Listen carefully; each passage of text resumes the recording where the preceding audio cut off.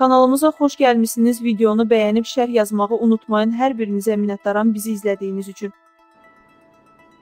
Qətl törətməkdə təqsirləndirilən meyxanaçı Rəşad Əmirov tanışı İskəndər Mehdiyevə ümumilikdə 14 bıçaq zərbəsi vurub. Biqaz reporta istinadən xəbər verir ki, bu barədə Qaradağ rayon məhkəməsində istintaq materiallarını elan edilərkən qeyd olunub. Hakim Teymur Qurbanovun sədrliyi ilə keçirilən prosesdə meyxanaçı özünü təqsirli bilib. O deyib ki, hadisə zamanı İskəndər Mehdiyevin əlində bıçaq olub.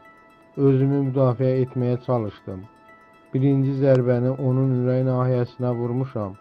Digərlərini isə xatırlamıram.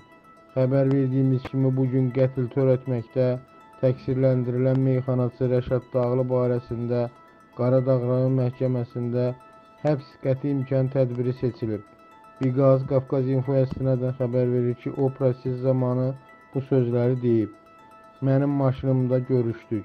O qarşıda sərnişin yerində əyləşmişdi. Aramızda münaqişə yarandı. Bıçaq onun əlində idi. Mənim şərəf və ləyaqətimi təhqir etdi. Mən onun əlindəki bıçağı alıb ona zərbə endirdim. Yalnız birinci zərbəni xatırlayıram. Digərləri yadıma gəlmir. Maşını biraz sürəndən sonra qapını açıb meyidi aşağı atdım.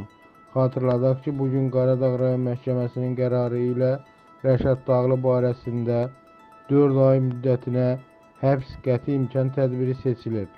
Qətl hadisəsi noyabrın 9-u saat 05 radələrində Qaradağ rayon ərazisində qeydə alınıb. Belə ki, 1984-cü il təvəllüdlü Rəşad Əmirov tanışı 1979-cu il təvəllüdlü İskəndər Mehdiyevi şəxsi münasibətlər zəminində aralarında yaranan münaqişə zamanı bıçaqla çoxsaylı xəsarətlər yetirərək qətlə yetirib.